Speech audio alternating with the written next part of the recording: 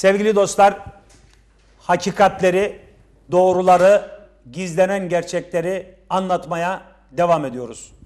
Sosyal medyada gazeteci olarak kendini tanımlayan, bir şey olduğunu zanneden birilerinin Gazi Mustafa Kemal Atatürk'le ilgili virüs ifadesini kullandılar.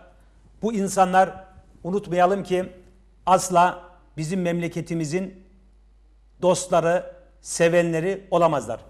Gazi Mustafa Kemal Atatürk öyle bir insan ki yedi düvele karşı mücadele vermiş, yedi düvele karşı galip gelmiş, mutlak küfrü temsil eden İngiliz'i, Fransız'ı, İtalyan'ı, Yunan'ı memleketimizden kovalamış. Peygamber Efendimiz sallallahu aleyhi ve sellemin müşrikleri Müslüman topraklarından çıkartın emrini yerine getiren o Gazi Mustafa Kemal Atatürk'le il, ilgili ileri geri konuşan maalesef o müsvedde topluluğu var. Gazi Mustafa Kemal Atatürk sevgili dostlar hani hatırlayalım Peygamber Efendimiz sallallahu aleyhi ve sellem döneminde bir Hendek Savaşı var. Bu Hendek Savaşı'nda Amr adındaki bir komutan Hendek'i karşıya vuruyor ve Peygamber Efendimiz sallallahu aleyhi ve selleme meydan okuyor. Diyor ki gönder bakalım benim karşımda benimle savaşacak birini gönder. Onu cennete göndereyim, cehenneme göndereyim. Duydum ki kadınlarla, çoluk çocukla geldin. Benim karşımda bir tane yiğit, bir tane kahraman gönder dediğinde Peygamber Efendimiz dönüyor sahabesine. Bu kafirin sesini susturacak yok mu diyor ama kimse çıkamıyor. İşte Peygamber Efendimiz sallallahu aleyhi ve sellemin bu çağrısına cevap veren Hazreti Ali oluyor. Hazreti Ali çıkıyor. O amrı öldürdükten sonra Peygamber Efendimiz buyuruyor ki Hazreti Ali'nin gösterdiği yararlılık insanların ve cinlerin tamamının kıyamete kadar yapacak olduğu ibadetten daha evladır buyuruyor.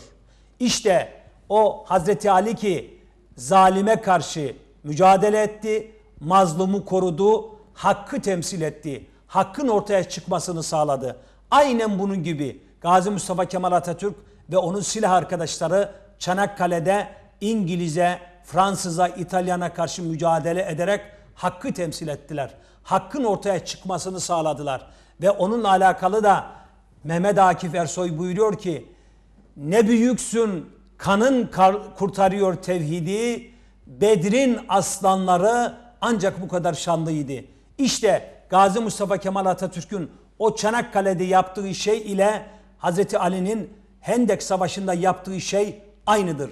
Eğer Gazi Mustafa Kemal Atatürk olmamış olsaydı bizim ibadetlerimizi yapmamız, namaz kılmamız, ezan okunmamız mümkün değildi. Belki annelerimiz belli olurdu ama babalarımız belli olmazdı. Kim için söylüyorum? İşte Gazi Mustafa Kemal Atatürk'e iftira atanlar, ona virüs diyenler, ona hakaret edenler, onun hakkını çiğneyenlere söylüyorum. Elbette ki Atatürk'ü sevmezler. Çünkü Atatürk memleketimizden o İngiliz'i, Fransız'ı, İtalyan'ı, Yunan'ı kovaladı. Elbette ki Atatürk'ü sevmezler. Çünkü Atatürk 7-8 seviyesindeki okur yazar oranını yüzde 97'lere çıkartan insandır Atatürk. Elbette ki Atatürk'ü sever, sevmezler. Cenab-ı Hak Kur'an-ı Kerim'de buyuruyor ki Allah müminlerden canlarını ve mallarını cennet karşılığında satın aldı.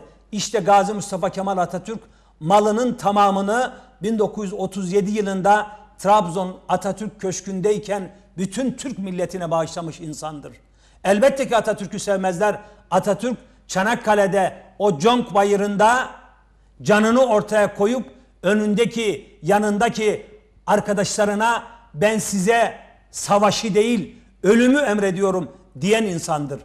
O Atatürk ki canını ortaya koydu, malını ortaya koydu, hayatının tamamını ortaya koyan insandır.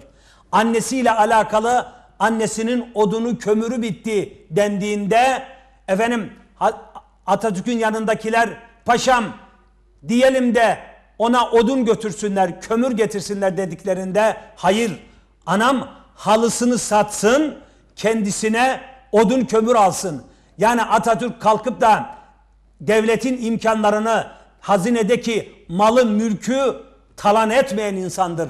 İnsanını düşünen insandır. Çiftçisini, köylüsünü, tebasını düşünen insandır Atatürk. Atatürk kamu malına tecavüz etmeyen, insanların haklarını koruyan insandır. Diğer taraftan Atatürk canını ortaya koyarak mesela Hatay'la alakalı öyle bir mücadele veriyor ki diyor ki Fahrettin Paşa'ya diyor ki paşam Cumhurbaşkanlığından istifade ede, istifa edeceğim gideceğim o Hatay'ı vatan toprağına katacağım. O benim namus sözümdür diyor. İşte makamı, şanı, şöhreti, dünyalı bir tarafa atan son nefesinde de ona doktoru diyor ki paşam dilinizi çıkartın biraz daha çıkartın artık çıkartacak bir takatı kalmayınca ve aleykümüsselam diyen insandır Mustafa Kemal Atatürk. Onlar onun için Atatürk'ü sevmezler.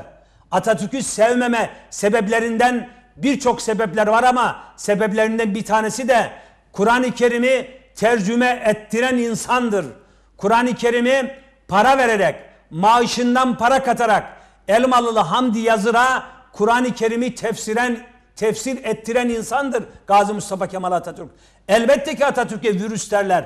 Elbette ki Atatürk'ü sevmezler. Çünkü Atatürk asla Allah'ın haram dediği bir şeye helal, helal dediği bir şeye haram demeyen insandır. Elbette ki Atatürk'ü sevmezler.